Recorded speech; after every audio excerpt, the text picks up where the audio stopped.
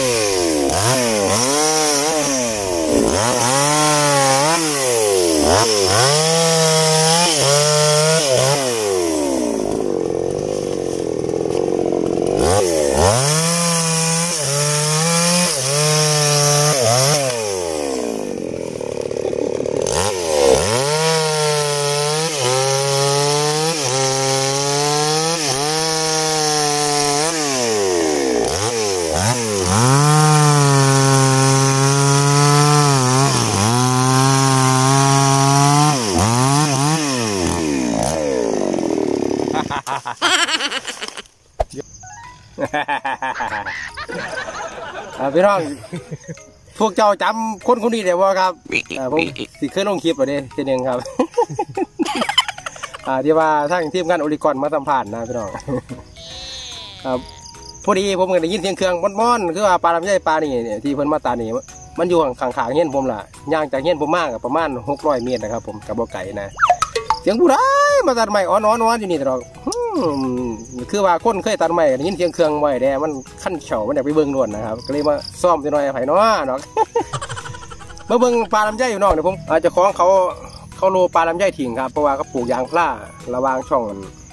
ช่องอันลำปลาลำไยนะครับ เขาจะเอายางพาราแทนนะครับอ่าเขาเลยตัดทายเบิ่งซิตัดออกหมดเลยปะติเอออ๋อก็ว่าให้ตัดออกหมดปลาเลยครับลำไยอันปลานี่โอ้ยเดี๋ยวเดี๋ยวเดี๋ยว คันเจ้าของลำมาเลยสิสัมภาษณ์เจ้าของสวนลำไยอยู่ว่าตัดออกเพื่ออะไรนะครับอยากหู้นะสิมาง่ายมาหน่อยเนาะมาทันหมดเนาะสิสัมภาษณ์ลงคลิปนี้หน่อย Okay. เอ๊ะเพิ่นปลูกมาหลายปีเลยเนี่ยจะว่าจักปีแล้วโอ้หลายปีบ่แม่นสิไปสี่ปีอยู่ว่ะนี่ปีปีห้าปีสี่ห้าสี่ห้าปีนะครับนี่ปลาแม่ปลานี่หมักลำไยกำลังเป็นลูกเลยนี่ครับนี่ลูกกำลังออกปอกแอกแป๊กกันเนี่ยครับพี่น้องนี่ไม่เห็นปะเนี่ยต้นประมาณนี้แหละครับนี่เนี่ย กำลังลูกน้อยครับกำลังลูกนาฮักเลยคอมเมนผู้แสกผู้สาวกับจิ๊บจี๊บหาแล้วพี่น้องเนี่ยลำไยรุ่นนี้นะครับเนี่ยกำลังเป็นตะอยากไปกินเลยนะครับ อันหมายถึงลำไยนะครับ แต่ว่าก็คือว่าครับเขาอ่าคือว่าโคตรเท่ากับต้องมีดผลนะครับอ่าก็ตัดโบตัดออกนาะดอกเนาะเออเดี๋ยวไปเบิ่งผลงานกันครับนี่พี่น้องน้ำใจฟูนครับผุนตีนเขาโอ้โหแมนบอกเพียรนี่นี่นี่ซื้อนี่ครับที่ผมสี่นี่ประมาณนั้นแหละครับ ตอนได้ผลมานี่ครับริมตรงหน้าเพิ่นน่ะเลี่ยมปลาเขาครับนี่เสียแต่ว่าแต่ว่ามันนี่มีปลาข้าวนี่ครับนี่นั่นแหละครับหนังมอมผมมันนี่มือซี่นะครับเห็ดสวนเพื่อนนั่นนั่นนั่นนั่นไปทันครับ อันโซนนั่นตัดมาแล้วเมื่อเมื่อแล้วครับที่ตัดออกประมาณครับ อันหมูงามันนี่ก็เอาไปเผาทานพี่น้องโอ้เป็นทานนี่สุดจอดเลยนี่ครับไม่ลำไยนี่แข็งดีครับเป็นทานดีขนาดเลย Okay. เนี่ยโอ้แตกแล้ววะท่อเขาอะนั่งฟอกไปหนึ่ง ไม่ยันเราจะคล้องเขาไปอยู่เอออะมาตัดผู้เดียว นั่งขโมอนั่นพี่น้อง ตัดผู้เดียว เมาเบิ้เลยพะนาว่าเออแต่ว่าเพิ่นเพิ่นถามผมอะนะว่า มึงเคยเมาจังใดคันตัดจังสี่นะครับ ผมก็สิเว่าพี่น้องฟังในคลิปเลยครับคันงานระดับนี้นะพี่น้องผมสิเว่าฟังเด้อ Okay. ก็คือว่ามันจะมีต้นยางอยู่ด้านล่าง นี่นี่ครับต้นยางให้เบิกก่อน นี่ครับ ต้นยางมันกำลังไงประมาณนี้นะครับ ยางพาราที่ปลูกระว่างข้างๆมันก็คือว่าไม่ยังซี่นี่มันก็ให้คิดเป็นทางครับพี่น้อง คิดทางลาครับ เพราะว่ามันมันมันเห็นง่ายนะครับ มันเห็นง่ายคันเห็นยากเขาที่เมาอีกแบบหนึ่งคันเห็นง่ายที่นี่คือว่าบ่ต้องย่านทับนะเพราะจังไหนมันก็บ่ทับแล้วต้นมันอยู่ไกลพุ่นนะเห็นบ่งามันก็อยู่ในส่วนของมันงานลำไยนะอ่าแบบนี้ผมก็สิเมา ผมเมาทางละสองร้อยห้าสิบบาทครับพี่น้องอ่าแต่ว่าก็ยังมีเอฟซีหลายจังหวัดอยู่ได้ที่ว่าคอมเมนต์มากเพิ่นว่าเพิ่นเมาทางละสามร้อยพนะว่าแต่คือว่าแต่ละเขตมันก็ราคาบ่ซ้ำกันครับเดี๋ยวแต่พื้นที่แต่ละเขตครับอ่านี่ครับเป็นบอนี่ครับตัวลำไยตัวลำไยอยู่ประมาณนี้ครับ ก็ถือว่าเฮ็ดเฮ็ดบ่ยากนะครับจังเฮารีงานกะรีบใบอันในอันน้อยๆออกก่อนมันก็ลงปอกปอกปอกปอกมันก็บ่ทับ ถึงแม่นทับมันก็บ่หักนะครับพราะว่าลำไยมันพอนี่ใหญ่ครับมันยังอ่อนอยู่ครับนี่มันโน้มได้อยู่ถึงง่ายน้อยทับก็บ่หักนะเออเดี๋ยวสิร้อยของเขามาที่สัมผัสหน่อยก่อนตัดลำไยเพื่ออะไรนะท่านนี่โฟหนาวอยู่นี่สิมากว่าน้อยหน่อยเออเดี๋ยวในในกระไดมาถ่ายทำให้พี่น้องมาแล้วผมสิให้เบิ้งเครื่องข้าเจ้าก่อนครับ เครื่องยี่ห้อนี่ผมซื้อให้เป็นยี่ห้อรุ่น อ่ารุ่นรถเหยียบเลยพี่น้อง อ่ามันที่จริงมันซื้อว่ายี่ห้ออ่าอย่างน้อยเนาะลืมลืมแล้วนะสตาร์แวร์ป่ะ No. บ่แมนป่ะจำบ่ได้มันพังสิเปลี่ยนใหม่อยู่ เครื่องไอ้รุ่นนี้ผมเคยใส่ทีหนึงครับไปยังคือจังว่าซื้อรุ่นรถเหยียบเจสมัยนั้นผมไปตัดไม้นะครับวันนี้ผมก็ไปว่างไว้ใต้แล้วรอรถอีแตนผมอะนะผมนี่ล่ะถอยเหยียบนะครับมันแน่บ่เห็นเนาะเหยียบผ้าเครื่องครับ ที่แรกนั้นโค้งมันบ่หักดอกเหยียบแค่ส่วนนี้นะ อันนี้แตกก็เสื้อกระเปียนชุดนี้ใหม่ครับขาฟอบนี่เทียที่สองผ้าเครื่องเลยพี่น้องได้เปลี่ยนเมดเลยชุดนี้ครับ เปลี่ยนเมดกะกเอามาใส่งานอีกครับก็แห้งคือเก่ารุ่นทน ผมเลยตั้งซื้อว่ารุ่นช่างหยียบครับ ผมมันอุปกรณ์ช่างหยียบรถหยียบมันทนใหม่ทนมือดีครับอืมเราเคยเห็นตกต้นไม้กับหลายเทียครับ ผมไปเรียงงานใหม่ทั้งยอดใหม่ทั้งสูงพูนนะครับตกตุบลงมาที่ดินนี่ครับกลายเป็นยังโบไปอย่างเลยพี่น้องกระแตงเตี้ยทั้งนอกก็ซื้อครับ ทั้งในก็กระจับมาตัดใหม่ซื้อคือเก่าครับ ทุนกำลังแห้งดีพี่น้องตัวนี้ครับ เดี๋ยววันนี้เดี๋ยวในอนาคตผมจะมาขายดอกอ่าผมเริ่มซื้อยี่ห้อมันเอาแหละครับแต่ว่าผมจำตัวภาษาอังกฤษมันได้อยู่ที่มันเขียนไว้ข้างๆนะครับ ตัวนี้นักดีครับผ้าไม่ดีพี่น้องอ่าอันนี้ก็ใส่เป็นบาบาร์คิดสองนิ้วครับ สูตรรุ่นกลางอ่า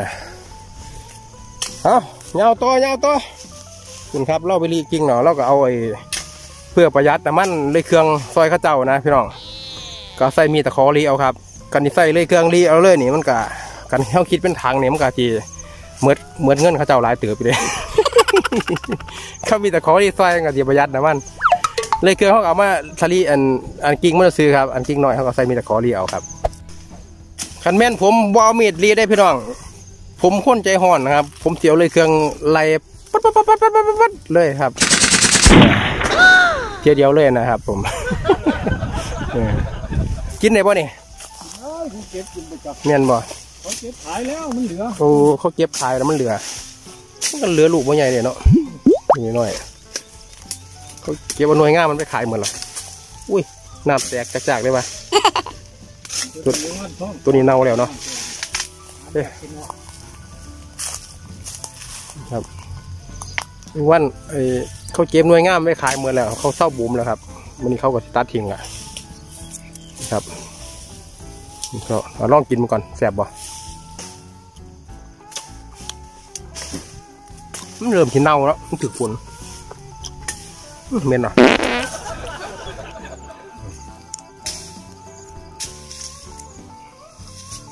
เพราะมันมันเน่าหมดแล้วถึกฝนมันนี่เนาะ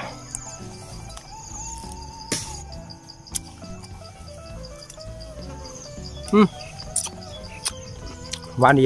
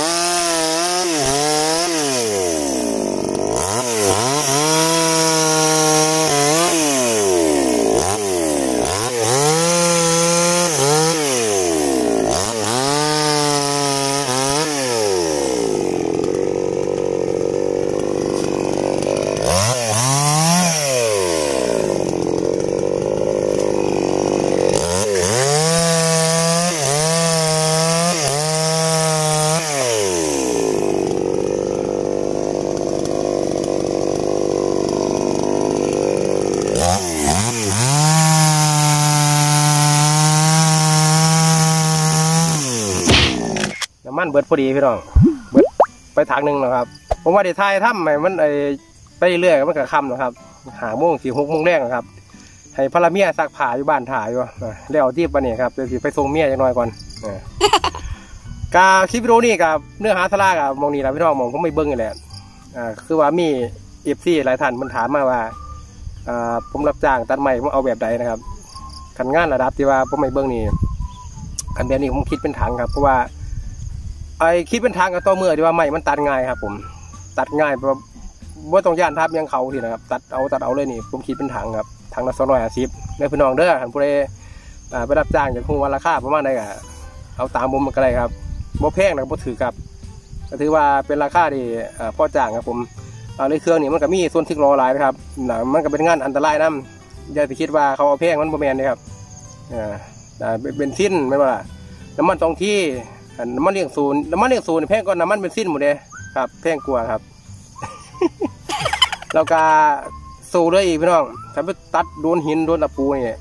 ไปเรื่อยเลยครับ สู่เส้นละสี่ร้อยเลยครับ สู่เส้นหนึ่งนะตะไบอีกครับ มันต้องคิดบวกกันในหลายอย่างด้วยค่าแห้งเอาอีกครับ อ่า เป็นสันเด้เอาโปรแพงหรอกครับกับผู้ใดที่จ้างโปรแพงหรอกประมาณนี้แหละอืมแล้วคนตัดกับพวกเอาครับกับบ่ถือว่าถือว่าแพงมาได้เนาะถือมาตะกวน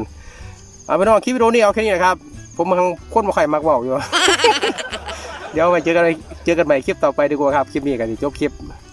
อ่ามองนี่ละ